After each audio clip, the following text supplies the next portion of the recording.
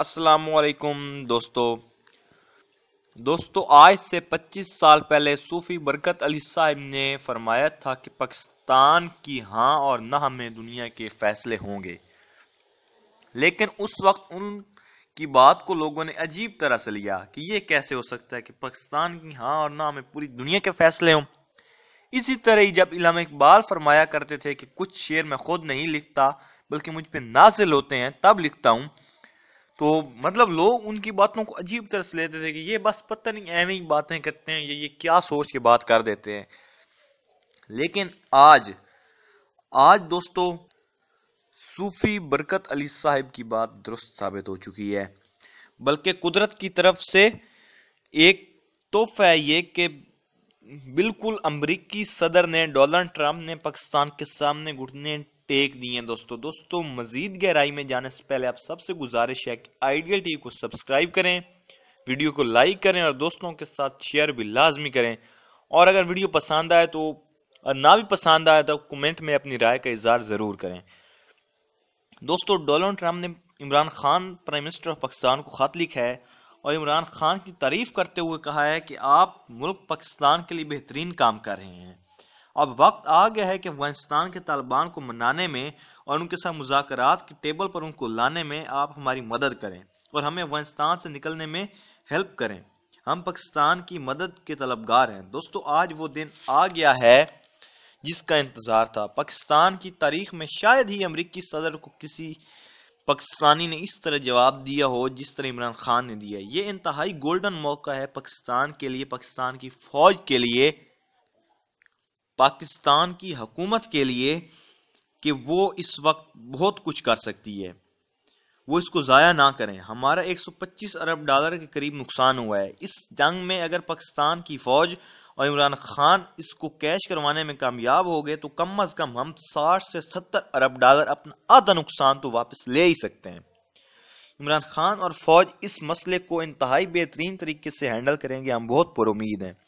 اور امریکہ سے ہمیں اتنا پیسہ ہر طرح سے واپس لینا ہے جو ان کی جنگ میں ہم نے ضائع کیا ہے، ورنہ ہم ان کی مدد نہیں کریں گے۔ یہ بالکل پاکستان کو واضح کر دے۔ عمران خان نے جواب دیا ہے کہ وہ مذاکرات کے لیے آگے آئیں گے اور اپنا کردار ادا کریں گے۔ الحمدللہ، آج وہ وقت آ گیا ہے کہ پاکستان دنیا کی سپر پاور کا مقابلہ کرنے کے لیے، ان کے مستقبل کا فیصلہ کرنے کے لیے اپنا خصوصی کردار ادا کرنے جا رہا ہے۔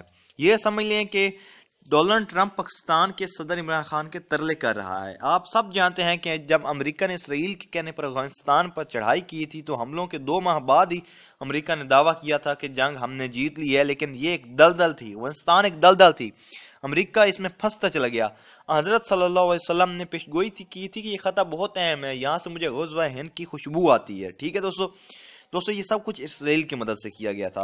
امریکہ ہر مہینے ساٹھ ارب ڈالر افغانستان میں برباد کر دیتا ہے۔ اور پھر امریکہ کو پھنسانے کے بعد انہوں نے، افغانیوں نے فیصلہ کیا کہ آپ پاکستان پر حملہ کریں۔ ٹھیک ہے؟ یہ افغانیوں کا بیسکلی فیصلہ نہیں تھا، یہ فیصلہ تھا اسرائیل کا کہ اب ہم پاکستان کو تباہ کریں۔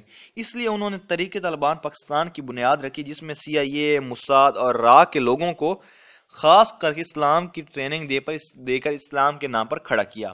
ان لوگوں نے داڑیاں رکھی جو کافر تھے، یہودی تھے، عیسائی تھے سی آئی اے کے لوگ تھے، وہ پٹھان بن کر، مسلمان بن کر دھماکے کروانے شروع کر دی انہوں نے۔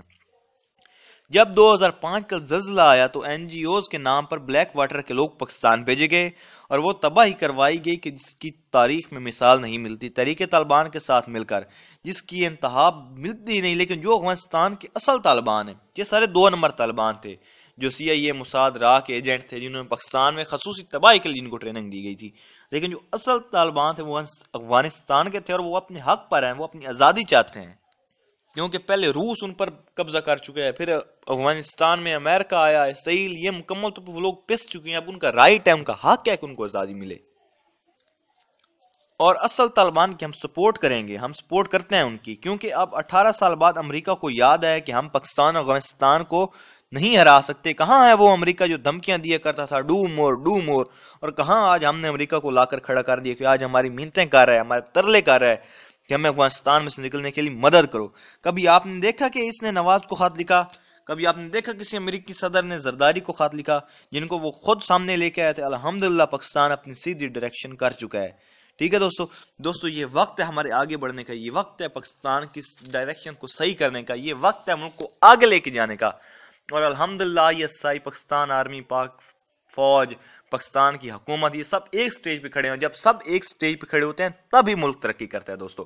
دوستو، آپ سب جانتے ہیں کہ اپوزیشن چاہے جو کہتے رہے، میرے عمران خان سے کوئی ذاتی تعلق نہیں ہے، کوئی میری نفرت نہیں ہے، زرداری سے کوئی نفرت نہیں، صرف سیاست کی بنیاد پر میں ان سے نفرت نہیں ہے، میری کام کرنے کی بنیاد پر بات کروں آپ سب کو صاف نظر آ رہا ہے کہ ملک میں تبدیلی آئی ہے، ملک میں بہتری آئی ہے، ملک اپنے بہت حالات قابل، اس قابل ہو چکے ہیں کہ وہ اب آگے جائے۔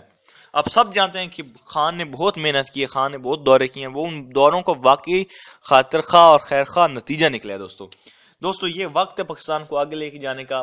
پوری عوام ایک ساتھ جٹ جائے مکمل طور پر جو پاکستان کے خلاف ہے، ہم سب جانتے ہیں کون پاکستان کے خلاف ہے، کون نہیں ہے، کون ملک کی بہتری کے لیے کام کر رہا ہے، کون اپنی زد کے لیے کھڑا ہے۔ دوستو، انشاءاللہ انشاءاللہ اس کے اوپر میں الگ سے ویڈیو بناؤں گا کہ پاکستان کے مخالف کون ہے کس طرح مخالف کی پہچان کی جاتی ہے، یا پاکستان میں کون کون اس وقت کون سے سیاسی پارٹیاں پاکستان کے بالکل مخالف کام کر رہی ہیں۔ انشاءاللہ اس میں میں یہ ایک لمبی بحث ہے اور یہ الگ بحث ہے۔ انشاءاللہ اس میں میں ویڈیو بناؤں گا دوستو۔ دوستو، ویڈیو کو لائک کرنا مت بھولیے گا۔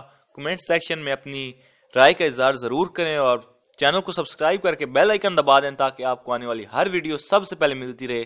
ملتے ہیں اگلی ویڈیو میں، تب تک کے لیے اللہ حافظ، پاکستان، زندہ باد۔